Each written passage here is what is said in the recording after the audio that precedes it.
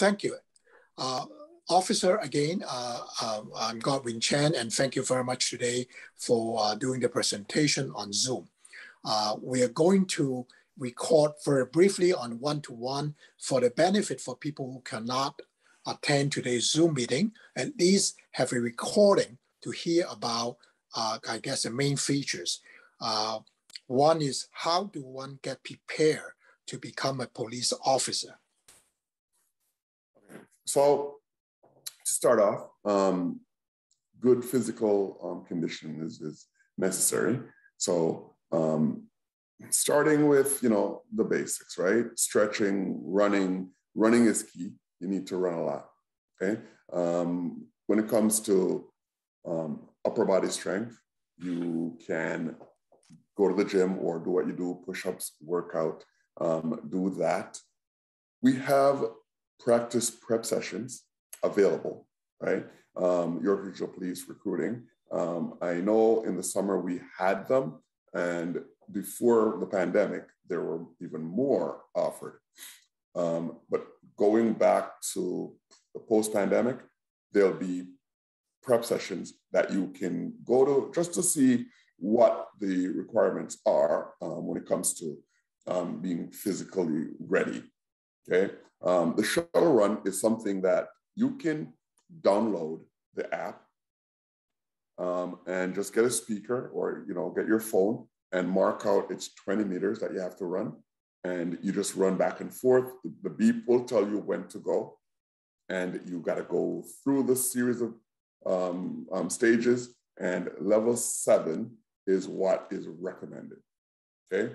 Um, as far as education goes, um, you need to have right now, as it stands, it's still four years of secondary um, school education or equivalency, but that's going to be changing maybe in um, 2022, um, where you're going to need at least um, minimum some college so, so some post-secondary. Um, as far as uh, you being a good citizen, pretty much, right? So stay away from, you know, speeding. Like, you know, watch your your driving. Make sure that you're not breaking, you know, the the the, the speed limit or breaking um, any other kind of um, traffic violation. Um, you can't have a conviction for which a pardon has not been granted. So if you, by chance, you know, got convicted for whatever um, at a young age, you have to be um, pardoned before you can join. Your first aid CPR um, is level C, is the basic. You need to get um, an Ontario uh, OACP certificate. So the OACP certificate, it offers, is offered through TNT um, police testing. So you can always look that up and they will, there's a fee um, you know, associated with that. So I think it's about $250. You got to get this um, the certificate, OACP. It's called Ontario Chiefs of Police um, certificate. Once you have that certificate, you can apply to any service. And once you apply to you know the service that you choose, we prefer to be York Regional Police, of course, but you can apply to any service within Ontario. Um, then the application um, process starts, where you enclose everything, um, you know, your address, your um, work life, your educational life, um, volunteering, which is, is key. Once you have that all in the, in the package, um, for York Regional Police, you will send it via email to recruiting at yrp.ca. That information will then get um, uh, processed. Once it's processed, you will get a number. The number will be forwarded to you, and you can use that number as further reference. So if you're going to call in and you know say I'm Godwin Chan and I you know um, I have an application with you, you refer to your number and we and if there's any additions or updates, you can always update it through using that number.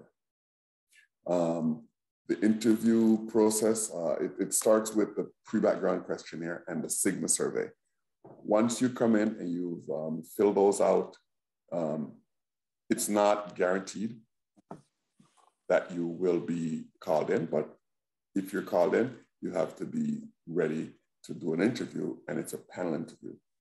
The panel interview will have minimum two people, and it'll review your application, your pre-background questionnaire, and once you review um, and it's satisfied by the interviewers, you will be uh, put in our uh, psychological stage. Thank you, officer. You give a very detailed. Um, I, I, I, almost uh, thinking that, you know, like you talk about the physical requirements, uh, how much money is involved, the process, that's very helpful. And uh, also about educational background that uh, certainly is very competitive. Um, based on your experience, would you uh, share with us what would be the major challenges for applicants or even to the extent that you're willing to share that your experience as a police officer. Well maybe one is that the challenge to even get on to become an officer and secondly uh, to the extent that you can share what's the major challenges after becoming an officer. Well okay.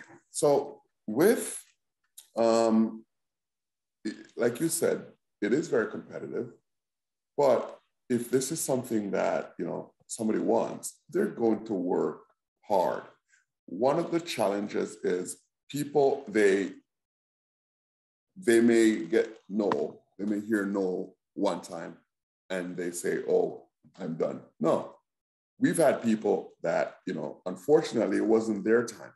So we say no and eventually they, you know, maybe they had to work on something. Um, as for challenges, it's people that don't take it seriously enough to do the proper training that's necessary. So when we say, and we have um, information sessions that you can, you know, sign up for. It's on the, the event calendar on yrp.ca.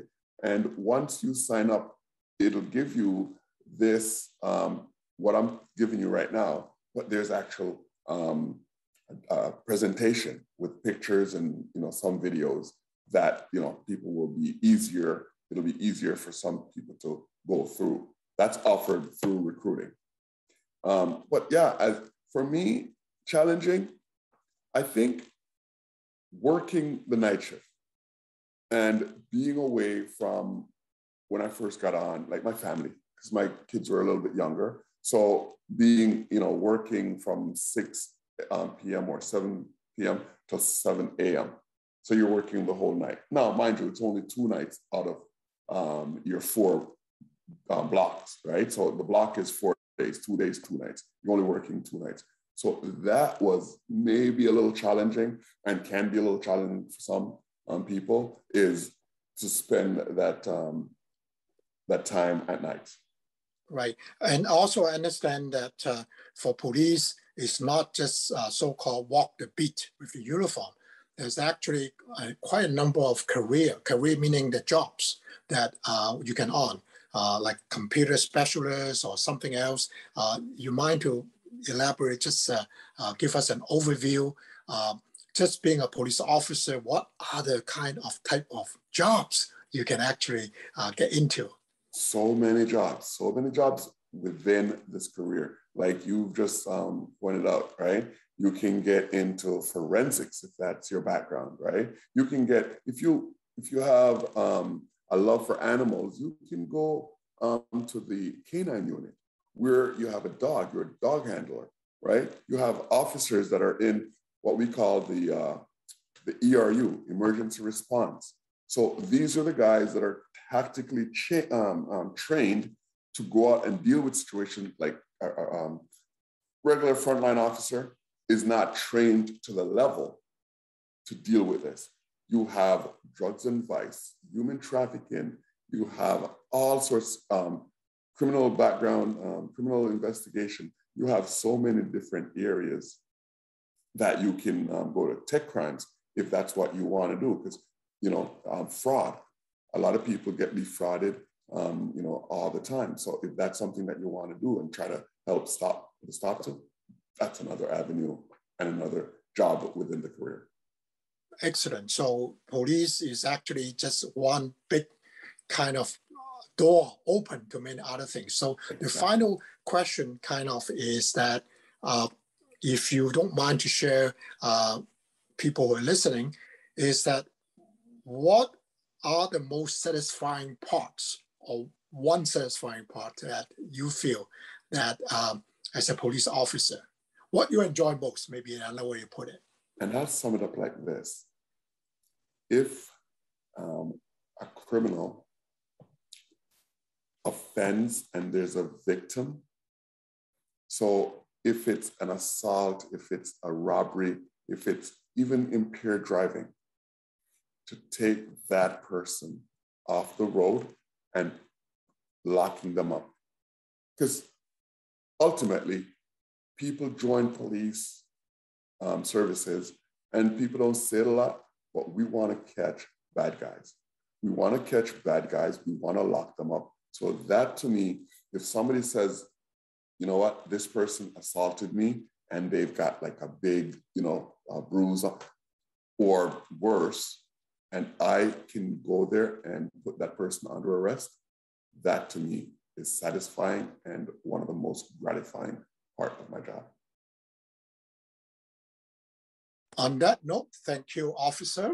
Uh, and I just give you a thumbs up. and uh, thank you very much for your time and your generosity, uh, spending the time with us, and also outlining for people who are listening that um, the requirements to becoming a police officer and also the doors that open once you become officer.